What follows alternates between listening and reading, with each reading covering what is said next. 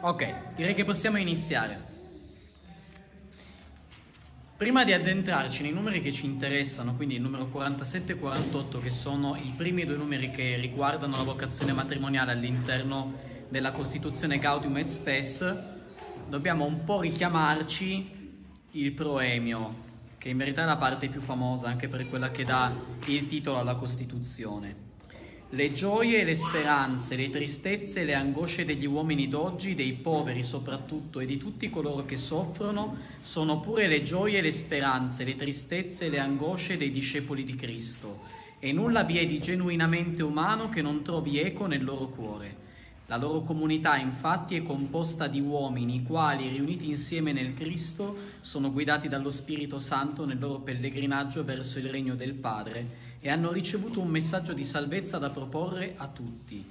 Perciò essa si sente realmente e intimamente solidale con il genere umano e con la sua storia. Così inizia Gaudium et Spes che immediatamente utilizza un eh, linguaggio sicuramente fortemente nuziale. Le gioie, le speranze, le tristezze, le angosce sono luoghi di unione. Io accolgo te con la grazia di Cristo, promesso, prometto di esserti fedele sempre nella gioia e nel dolore, nella salute e nella malattia, di amarti e onorarti tutti i giorni della mia vita. L'eco è esattamente quello delle promesse nuziali. Gaudium et Spes, questo documento, insomma, L'ultimo è quello più aperto all'interno del concilio che guarda verso tutto il mondo, dal punto di vista della Chiesa presenta una Chiesa sposa di Cristo indubbiamente e per questo alleata di tutta l'umanità. Quindi il linguaggio matrimoniale c'è fin dall'inizio, poi però alcuni numeri, grazie a Dio, sono dedicati esattamente al matrimonio. Io provo un attimino a ripercorrere alcune cose che ci sono scritte in questi numeri, non li leggiamo integralmente insieme, se no sarebbe una noia infinita.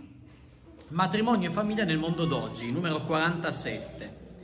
Il bene della persona e della società umana e cristiana è strettamente connesso con una felice situazione della comunità coniugale e familiare.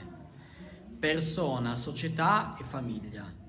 Questi tre elementi sono sempre uniti insieme. Abbiamo parlato tante volte della necessità di un equilibrio per il matrimonio. Noi di solito tendiamo a pensare che il matrimonio si, costruis- si costruisca e costituisca sulla terza posizione, persona, società, famiglia. Allora un matrimonio che funziona è una famiglia che funziona, ma non è vero, perché una famiglia non può funzionare se ciascuna delle persone non è una persona rettamente funzionante. Il matrimonio peggiore è quello tra due persone in cui lo scopo è appoggiarsi l'uno sull'altro perché non si riesce a stare in piedi. L'altro non è la mia stampella, un po' poco come vocazione matrimoniale. Servono delle persone per poter avere una famiglia, servono persone che sanno stare all'interno di una società. Anche qua abbiamo parlato tante volte dell'equilibrio della posizione in una società. Equilibrio che va guadagnato anzitutto sulle posizioni vicine, che sono quelle delle famiglie di provenienza, ci va equilibrio, che non vuol dire annullarle, non vuol dire far finta che non ci sia stato un distacco, ma c'è anche un equilibrio con le amicizie, un equilibrio rispetto a quella porzione di società che è il mio lavoro o la parte dei miei hobby. Ecco, una famiglia funziona bene quando è integrata, persona, società e famiglia, devono stare sempre insieme. Il documento va poi a fare, un, insomma, diciamo che Gaudium et Spes è anche molto poetico come documento. Figuratevi che qua il problema era l'aumento della natalità, dice. Sono passati un po' di anni, il problema non è la crescita demografica, ma la depressione demografica. In generale è un documento ottimista, però qua e là ci sono dei punti di forte realismo, anche un po' impietoso. Per di più l'amore coniugale è molto spesso profanato dall'egoismo, dall'edonismo e da pratiche illecite contro la fecondità. Tre elementi vengono nominati, egoismo, edonismo, pratiche illecite contro la fecondità. A me pare che ci sia da parte della Chiesa un consiglio su come vincere queste tre piaghe dell'amore e il consiglio si traduce, o potremmo tradurlo, poi insomma diciamo che è una teoria, nel consiglio delle tre virtù evangeliche. Come si può guarire dall'egoismo? Con l'obbedienza. Sapete, Povertà, castità, obbedienza sono tre consigli evangelici. L'egoismo come risposta cristiana all'obbedienza. Obbedienza vuol dire mettere da parte il proprio io e decidere che la parola dell'altro sarà la grammatica di tutta la mia vita. Io non voglio più dire una parola su di me, perché la parola più giusta su di me la dici tu. È quello che ci libera un po' da quell'ansia della realizzazione di sé, che sempre ci colpisce un po' e ci fa perdere l'equilibrio anche rispetto al lavoro o al resto della nostra vita. Non dobbiamo dimenticarci che all'interno dell'unione coniugale, di fatto, ci si promette obbedienza e una mutua consacrazione e quindi i consigli evangelici sono tutti e tre tra due sposi ci deve essere povertà, castità, obbedienza. Io quando sposo te decido che la tua parola è la migliore parola che definisca la mia vita. E quindi ho a udire, io starò sempre ad ascoltare che cosa hai da dire tu di me. Perché io posso averci pensato, posso aver costruito, progettato, ma quello che mi dirai tu è sicuramente migliore. Tu sei il mio bene perché tu sai il mio bene. Io mi fido di te al punto da ascoltare la tua parola sopra ogni parola. Questo rispetto agli altri più o meno lo facciamo, che bisogna farlo anche rispetto a se stessi. La tua parola su di me vale più della mia. Difficilissimo. Dall'edonismo, cioè dal piacere soprattutto. Credo che qui il consiglio, qua verrebbe da dire il consiglio sarà la castità, perché piacere, edonismo, no. Credo che il consiglio evangelico sia la povertà, perché povertà è la capacità di non avere profitto, di non avere guadagno e quindi di non fare soltanto le cose perché mi provocano piacere, mi piacciono, sono secondo i miei desideri.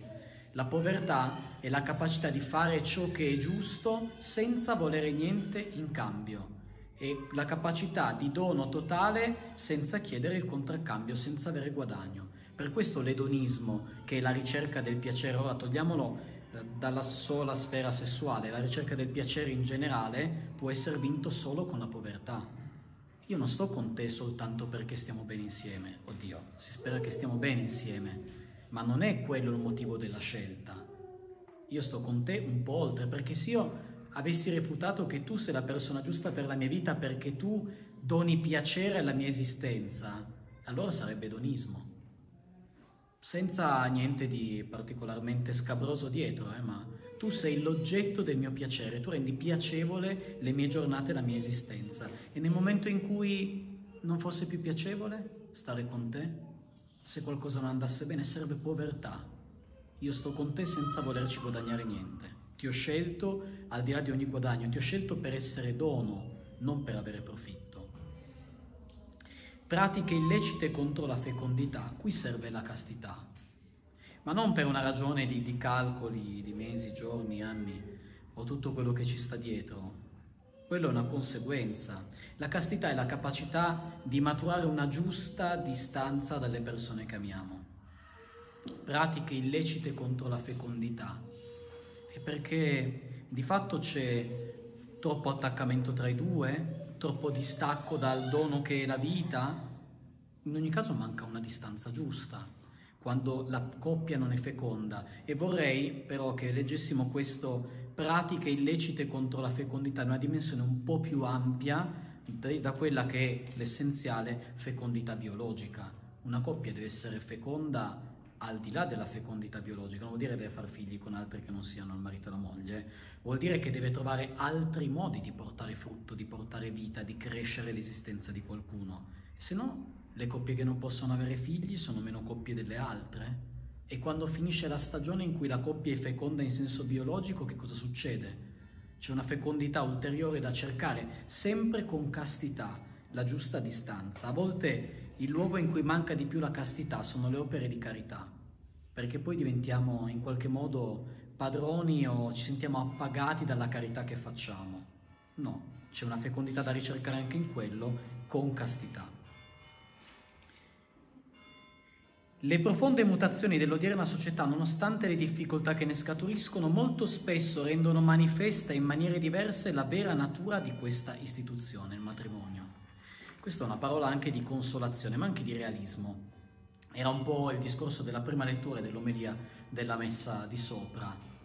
L'essere messi alla prova non è un errore, non è una cattiveria, è una necessità. Ciò che è importante va provato. La Bibbia dice che bisogna essere saggiati come l'oro nel crogiuolo. L'oro viene bruciato perché si stacchi la parte impura.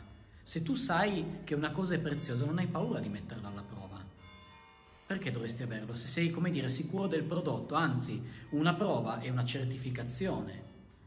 Allora forse anche leggere questo tempo in cui sicuramente lì si parla di sussidi alla famiglia per aiutare la crescita della famiglia, non è che proprio ci siano tanto, però in questo momento un po' difficile sotto tanti profili, questa prova che cosa ha fatto venire fuori della famiglia che siamo, della coppia che siamo? Qual è la parte, dire oro per me è una delle parole più odiose insieme ad alcuni nomi, tipo Aurora, perché ci sono troppe R e poche vocali Comunque, qual è l'oro che è uscito fuori dalla prova che abbiamo attraversato? Anzi, sarebbe interessante fare l'elenco delle prove che insieme abbiamo superato e che cosa, quale brillantezza e preziosità abbiamo scoperto una volta superata la prova.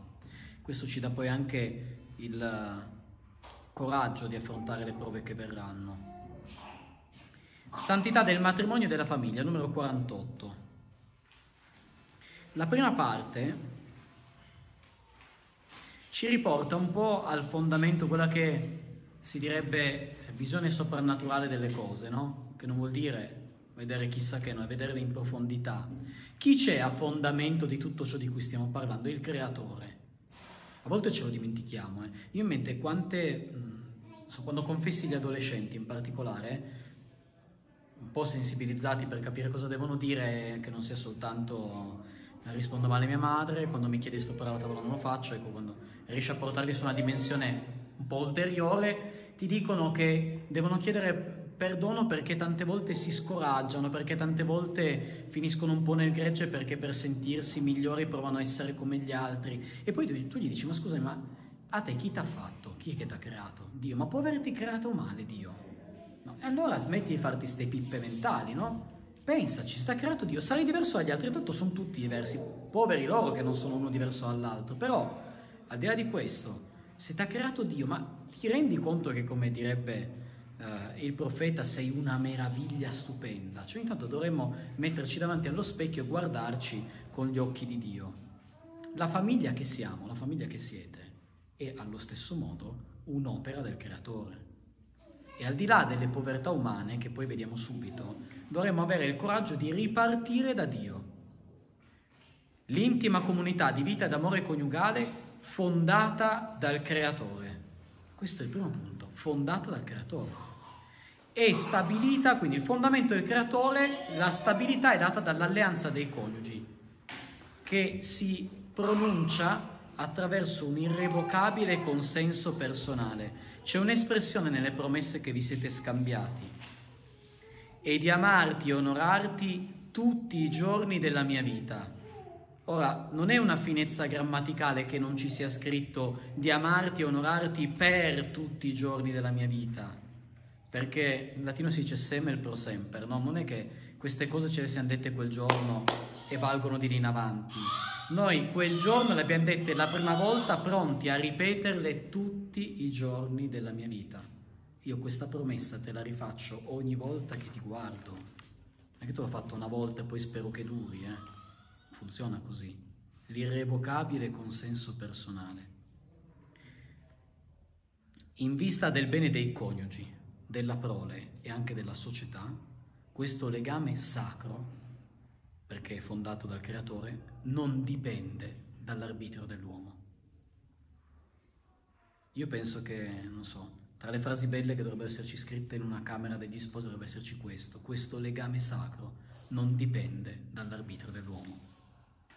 Anche questo l'avete sentito il giorno del matrimonio, non osi separare l'uomo ciò che Dio unisce, non dipende dall'arbitro dell'uomo.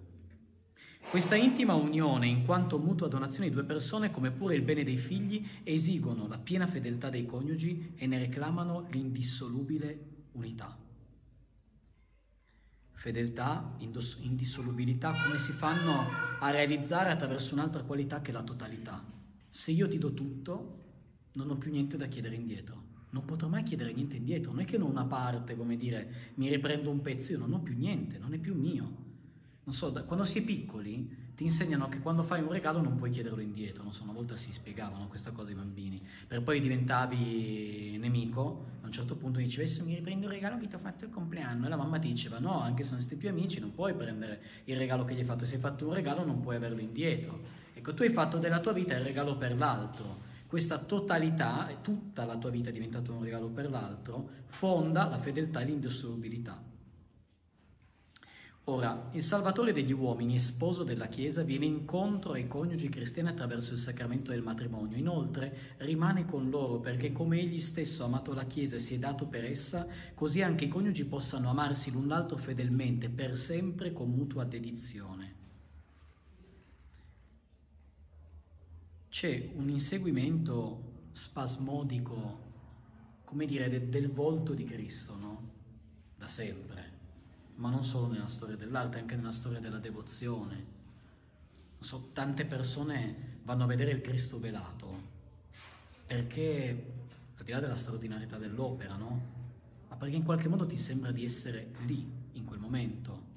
Pensate a fiumane di gente a vedere la Sindone, che poi, tolto che se sei un po' borgno, vedi perché piazzano le luci giuste, ma fai fatica a vedere il volto, ti conviene vederlo in foto perché lo vedi un po' meglio. C'è questa ricerca spasmodica del cercare il volto di Cristo chissà dove, chissà come, con chissà quali miracoli, chissà quali apparizioni, ma ci sono gli sposi. Perché ci manca così tanto la fede da non vedere negli sposi ciò che vede Dio? San Paolo la vedeva giusta, questo lo dico in riferimento a Cristo e alla Chiesa parla del matrimonio, sta parlando degli sposi e lui, che ha una visione soprannaturale delle cose, quindi le vede come sono in profondità, dice io tutto questo lo dico in riferimento a Cristo e alla Chiesa. Io guardando gli sposi vedo esattamente quello che Cristo prova per la sua Chiesa. La contemplazione del miracolo che siete in quanto sposi. L'anello che portate è l'anello che in qualche modo è la garanzia di un amore che non passa, e se è vero che i nostri anelli si riempiono di righe e righette e un po' si rovinano, è anche vero che rimangono lì, esattamente come l'amore di Cristo per la sua Chiesa. L'autentico amore coniugale è assunto nell'amore divino ed è sostenuto e arricchito dalla forza redentriva del Cristo e dall'azione salvifica della Chiesa. In Cristo e con la Chiesa. Questi sono i due termini che dovremmo sempre tenere in mano. Non basta il dire ma noi come coppia viviamo la nostra fede in Cristo. E la Chiesa? Perché Gesù ha vincolato l'efficacia della sua salvezza all'appartenenza a una, una volta diceva società perfetta, di uomini e donne che, seppur con i loro peccati, ma ricchi della misericordia e forti della misericordia di Dio, camminano insieme. Non puoi essere certo di essere con Cristo se non stai con la Chiesa e vuol dire starci dentro, vuol dire avere una presenza nei limiti e secondo le possibilità delle stagioni della vita che viviamo e che si assecondano. Ci saranno tempi di grande impegno e di grande testimonianza a favore di altri nella Chiesa, ci saranno tempi in cui devo farmi un po' da parte perché la mia famiglia ha bisogno di me, quella è la mia prima Chiesa, la mia famiglia. Però sarò presente all'interno della comunità nella messa domenicale. Tutta la loro vita è pervasa di fede, speranza e carità. Penso sia un augurio questo da parte di Gaudino Express, non so se avesse la fotografia delle coppie, tutta la loro vita è pervasa di fede, speranza e carità. So che siete così, però mi sembra anche un pelino ottimistica. Un buon proposito, ecco. C'è poi questo, questo inciso che a me ha impressionato, non so, è un testo che ho letto e riletto tante volte, le altre cose che vi ho detto finora sapevo che erano scritte, non ho mai notato questa espressione. Prevenuti dall'esempio e dalla preghiera comune dei genitori, i figli, anzi tutti quelli che vivono nell'ambito familiare, troveranno più facilmente prevenuti dall'esempio e dalla preghiera comune dei genitori. Non vorrei neanche commentarlo perché mi sembra evidente che cosa stia dicendo il servizio, e questa è la, come dire, è l'idea di santità cristiana, eh?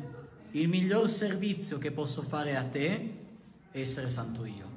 E dal momento che gli sposi non sono più due ma una carne sola, questo vuol dire che la nostra santità è legata. L'esempio è la preghiera comune dei genitori. La famiglia metterà con generosità in comune con le altre famiglie le proprie ricchezze spirituali, il senso di un gruppo famiglie. La famiglia metterà con generosità in comune con le altre famiglie propria, le proprie ricchezze spirituali. E qua andiamo sul lancio del tema dell'anno. Allora la famiglia cristiana, che nasce dal matrimonio, come immagine e partecipazione dell'alleanza d'amore del Cristo e della Chiesa, renderà manifesta a tutti la viva presenza del Salvatore nel mondo e la genuina natura della Chiesa, sia con l'amore, la fecondità generosa, l'unità, la fedeltà degli sposi, che con l'amorevole, che, che con l'amorevole cooperazione di tutti i suoi membri. Questi sono gli elementi di testimonianza. Amore, fecondità generosa, unità, fedeltà, amorevole cooperazione. Cinque punti perché la famiglia sia testimone. Il tema dell'anno è il Vangelo della famiglia. Non nel senso di, parliamo di grammatica, non nel senso di un genitivo oggettivo, non quali sono all'interno del Vangelo i Vangeli che riguardano la famiglia, ma in senso di genitivo soggettivo, quel Vangelo che è la famiglia famiglia non ha bisogno di leggere chissà quale Vangelo, ha bisogno di essere il Vangelo nel mondo. Quest'anno proveremo, attraverso temi e testimonianze, a capire attraverso quali strade la famiglia che siamo può essere Vangelo per quelli che ci guardano, ci frequentano, ci ascoltano.